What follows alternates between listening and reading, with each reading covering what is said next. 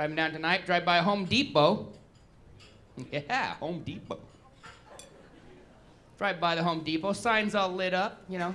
Everything's lit up in the Home Depot sign. Everything's lit up except the, the M. Yeah. Yeah, it just says Ho Depot. Guys going in to get screws.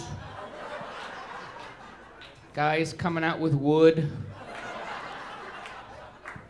See, that's bad advertising right there.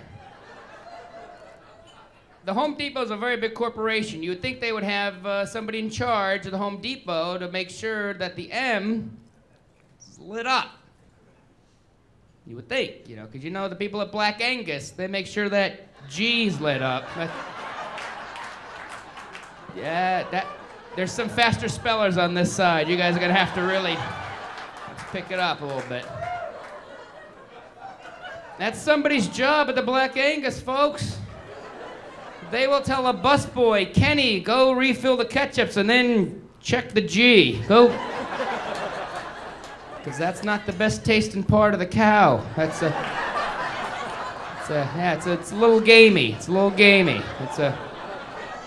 Like, like a meat donut. It's, uh, it's, uh. I went too far, didn't I? Just one too far? Just one? Yeah.